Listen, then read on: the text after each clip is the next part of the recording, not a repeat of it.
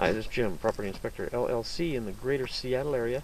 And we're in a beautiful, uh, only about a four-year-old home in uh, Bothell. Absolutely gorgeous home. And uh, looked up here, and uh, of course this is a connection. It could be an empty connection uh, for a potential roof vent. But come down here, and we can see that the bath vent has actually never ever been attached and just been blowing uh, exhaust and steam into the uh, the insulation. Easy enough to uh, clean up, but uh, definitely another reason to have a quality home inspection by property inspector, even on a new home. Have a great day.